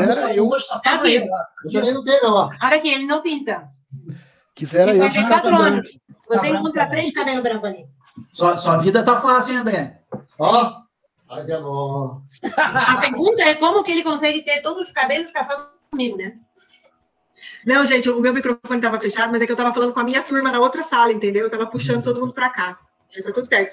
E, Teocles, eu não estou precisando. Outro dia fizeram uma avaliação da minha foto, ah, disseram tá. que eu transmito maturidade, segurança, serenidade, entendeu? Então eu vou continuar de cabelo branco. Sabe que tem falsidade em tudo que é lugar, né? Cuidado, hein? Você entrou naqueles testes do Facebook, vai? Não, é numa sala do Clubhouse. Estou descobrindo, inspecionando o Clubhouse. Hum, tá. Clubhouse com olhar de pesquisadora. Estou me divertindo, gente. Silvia, se eu coloco uma foto minha de hoje, será que dá a mesma coisa? É uma pessoa criativa, desconstruída, entendeu? Flexível. Desconstruída. Desconstruída. Hum, eu vou mandar essa foto aqui para ver o que, que diz. Em construção. Em construção. Essa aqui é em, não é desconstruída, é em construção. Então, olha, já temos... Estou olhando aqui, vejo, seu, vejo algum aluno que está me devendo alguma coisa de estágio aí, tá ótimo aí, já peguei um aqui, dois. Isso é ótimo, né, William? Eu acho que eu entreguei tudo. Acabou não o estágio para mais um ano. Menino, não espanta. Ah, não posso espantar. Foi, foi em janeiro do ano passado, retrasado. Eu conheço a Ponte Ferreira, eu só conheço por e-mail.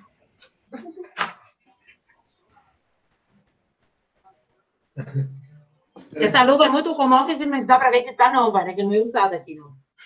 Por falar em luva, vocês já viram qual é o preço da luva? Perfeito. Aquela luva de dia a dia, sabe quanto que tá? Quanto que tá? 120 reais. Ai, não sei, eu quero saber qual é o vinho que a Tatiana está tomando. Reais, né? Tatiana, qual é o vinho que você está tomando?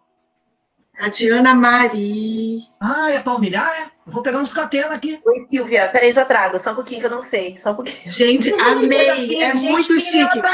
Eu achei isso, eu achei muito europeu isso. Um comportamento muito europeu isso. Ou argentino, né, Marina? Eu não vi, ela estava tomando vinho? Não vi. É, não, eu depois das interpretei que sendo vinho. Podia ser suco de maçã, mas eu interpretei como vinho. E acertei. Parece que é mesmo. É, é um vinho. É assim, Silvia, é, quando eu tô mal de grana, eu costumo comprar Chardonnay. Porque é o Chardonnay é o único que eu acho que, se for baratinho, dá certo. Esse aqui foi bem baratinho. Aí vou fazer propaganda. Descobri que tem um Chardonnay fabricado aqui em São Luís do Purunã, Primeira safra que sai agora, 2020. Sábado tô indo buscar para ver se é bom. Daí eu te conto, mas Tatiana. Amo. Agora tem que esperar dois dias para ver se dá dor de cabeça, né? Não, tem que não dar. Já, a garrafa já acabou. Ô, Eteocles, nesse cenário, meu querido, tá difícil de descobrir qual é a causa da dor de cabeça. Às vezes, às vezes você toma água e dá dor de cabeça. Dor de cabeça, é. Não, e eu gostei porque, né, é tipo, é home office, o que, que a gente faz no dia a dia e ela tá com vinho. Então, tipo, se é isso, eu tô no meu dia a dia, é normal. E é isso aí. Tá Mas ótimo. é um jeito para sobreviver nesse, nesse período de pandemia, é. né? Achar o equilíbrio entre café e álcool. Você tem que. Leandro, você tá gravando agora. Ainda bem que não sou eu que tô falando isso. Mas é só besteira, né? Não. Peraí, fica quieto. Etelpis, não é besteira, é conhecimento de Não é vida. pra ficar fechado aqui, o Deixa eu resto do mundo tá ouvindo vocês. agora a turma da Silvia veio e de repente chega e está tendo um bando de professor falando de vinho. Então talvez ele fica, peraí, talvez É um essa mau é uma né? privada dele se eu entrei errado. Não é. A gente- e esse é momento da gente conversar de forma descontraída, tá? Vocês podem participar da dica de vinho, de cerveja, do que quiserem. Esse é o momento para a gente conversar e daqui a pouco a gente começa com a palestra, tá? Inclusive, pode fazer o link. Como a tecnologia está presente na produção de vinhos na América Latina. E de cerveja também. E de cerveja também, muito bem, Etelcles, né? Como é Olha que faz só. o rastreamento Então, da eu acho que- cevada, tudo mais. Eu, eu acho que você Sabe- acabou de que eu vou decidir o próximo tema do petisco. Vinhos um e cerveja. Vamos fazer cerveja. Todo mundo põe, né? Mas sem. Vinho e cerveja é Alexandre um também, para ver se eu ensino o Alexandre a fazer também, porque as, as dele é horrível, as cervejas dele. O Alexandre tá aí, não tá... Ó, o Alexandre tem um apreciador aqui em casa que é fã de carteirinha, entendeu? Não troca a cerveja dele por nada. Olha que coisa. É que você não tomou a minha também, então esquece. Mas, mas olha, nós aqui somos abertos, sem nenhum preconceito, e eu, eu, eu sou toda eu tô, eu tô devendo pra Marina. para Marina- A Marina ganhou já a minha cerveja. Opa! Eu já tomei. Experimentou. Basta ver no jantar do sindicato, né, Maria Ângela? É. Tô vendo, nós vamos ter que, vocês, vocês vão ter que levar a cerveja para nós lá. Ah, junto com vocês, a cerveja é garantida, porque vocês só pegam cerveja. Eu, eu só pego cerveja mesmo, né? Inclusive, esse Não, ano eu vou fazer aniversário, eu espero que a pandemia já tenha terminado. Nós vamos ter que fazer uma festa aqui do trabalho, que a gente nunca faz festa, assim. A gente queria fazer uma comemoração de aniversário coletiva, não na UTF. Se Deus quiser, em setembro nós já vamos poder estar na UTF, né? Já é o. Já, já, tá, e talvez seja o meu Ah, melhor ah. presente de aniversário poder estar na UTF. Achei que você estava falando que não ia fazer aniversário esse ano.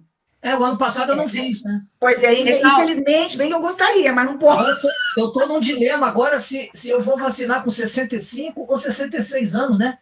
Porque daqui a duas semanas vira 66, então eu acho que eu vou vacinar primeiro.